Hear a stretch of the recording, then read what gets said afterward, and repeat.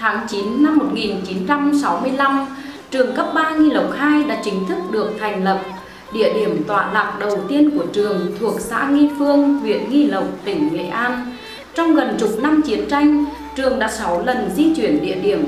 Địa điểm trường đứng chân đến tận ngày hôm nay thuộc địa bàn xóm 13, xã Nghi Mỹ, huyện Nghi Lộc, tỉnh Nghệ An, một vùng đất địa linh nhân kiệt, giàu truyền thống hiếu học, một vùng đất sơn thủy hữu tình như lời trong câu ca một thời.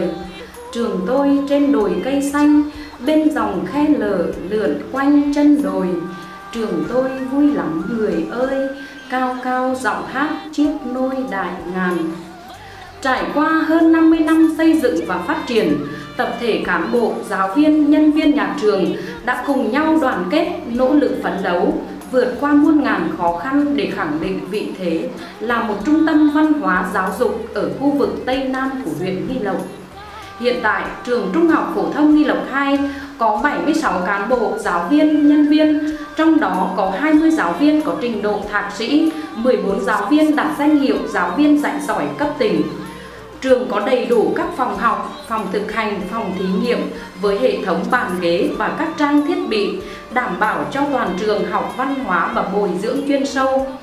Các thầy cô trong ban giám hiệu nhà trường qua các thời kỳ đã cùng với tập thể giáo viên, nhân viên nhà trường dốc hết tài năng, tâm huyết để đưa nhà trường vượt qua mọi khó khăn, làm giàu thêm cho bảng vàng thành tích của trường hơn 50 năm qua. Trường Trung học phổ thông Nghi Lộc 2 là cái nôi đào tạo biết bao người con ưu tú cho quê hương đất nước.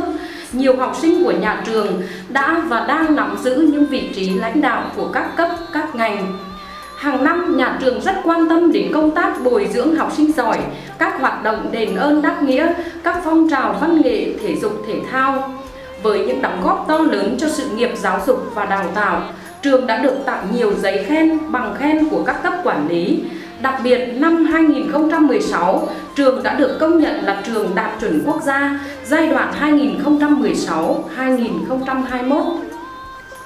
Trong năm học 2017-2018, đội tuyển học sinh giỏi dự thi cấp tỉnh của trường xếp vị trí thứ nhất toàn huyện, thứ 10 toàn tỉnh. Tỷ lệ học sinh tốt nghiệp của trường đạt 100%. Các thế hệ học sinh và các thầy cô giáo của nhà trường luôn nỗ lực phấn đấu vươn lên, làm vẻ vang thêm bề dày thành tích của nhà trường để mỗi thế hệ học sinh, giáo viên của nhà trường luôn tự hào về mái trường thân yêu, trường Trung học phổ thông Nghi Lộc